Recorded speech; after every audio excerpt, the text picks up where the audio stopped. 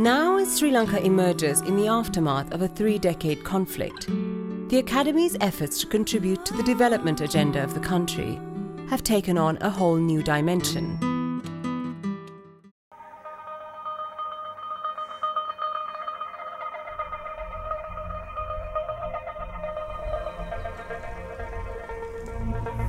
Sri Lanka is awakening after a three decade war.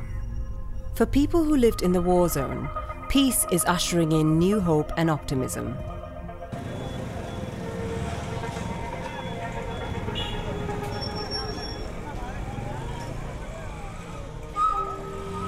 The Academy of Design is trying to share its knowledge and expertise with these communities in order to help them rebuild their lives.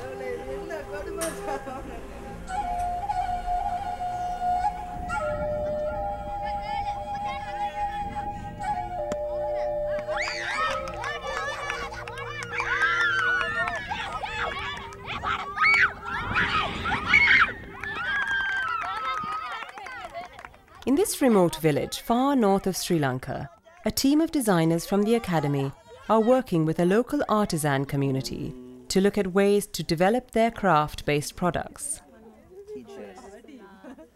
By blending traditional skills with contemporary design knowledge, they hope to add more value to the artisans' work and help them find new market opportunities.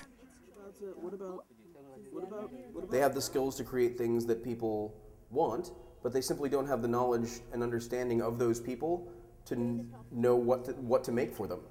And that's sort of the, the role that design is playing in this. Based on contemporary trends, it's creating market led market avenues in places that they've never tried to sell these things before. You can. You can. You can weave a stick. Right now, we're working in five districts: uh, Mannar, Mullaitivu, uh, Jaffna, Ampara, and Batticaloa district. We have chosen those because that required our immediate intervention. Plus, all these districts had something to offer before the conflict. Here in Mannar, in the northwest of Sri Lanka, another community is developing crafts made from the Palmyra palm.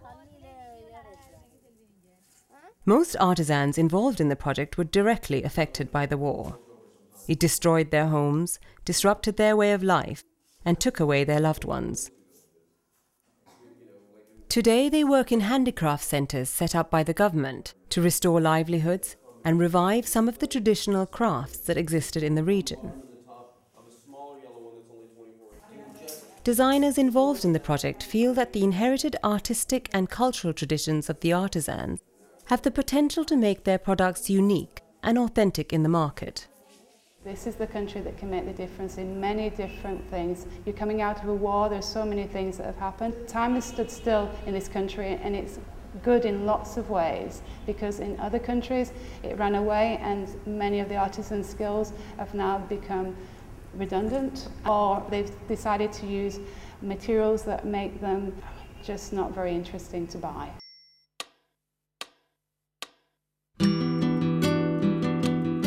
School, we have a huge base of students, obviously. Students who are Tamil, Muslim, Sinhalese. So therefore, AOD has an opportunity to engage many different people with the, with the communities out there.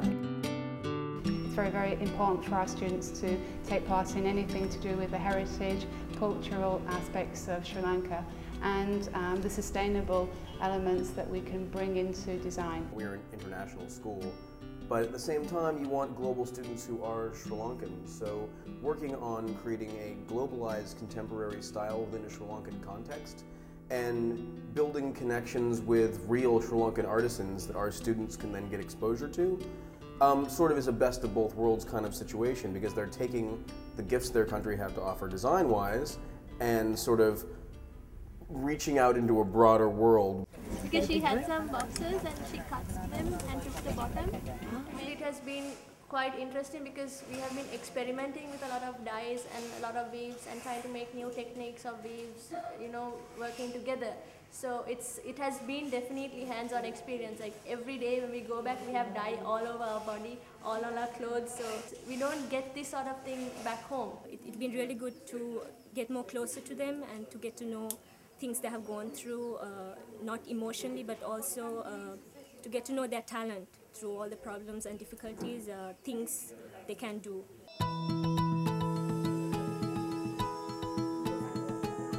I am astonished about their enthusiasm and the, the will um, to take on these projects and how they've engaged with our students and our designers that have been working with them. They want to learn, they're hungry to learn, they, they're passionate actually about what they're doing. They've been making the same basket for so many years and all of a sudden somebody brings them something and it's not the same colour and it's not the same size and it's a challenge to start off with but then at the end of it they manage to do it and you see their faces and that excitement in their eyes and you feel wow we've done it.